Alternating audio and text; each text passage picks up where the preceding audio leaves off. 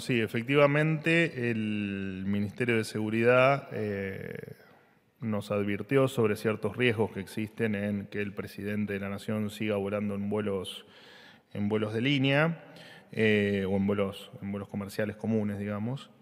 Eh, el presidente no puede viajar más en vuelos comerciales y el Ministerio de Seguridad eh, a, todas las partes involucradas, les ha elevado un informe, eh, un informe reservado eh, del porqué de esta, de esta sugerencia. Así que efectivamente el presidente dejará de usar aviones comerciales para, para viajar. Después veremos la implementación de esta no de esta solicitud, pero sí de esta recomendación que hace el Ministerio de Seguridad para que el presidente, por supuesto, tenga todas las condiciones de seguridad eh, que su eh, investidura ameritan.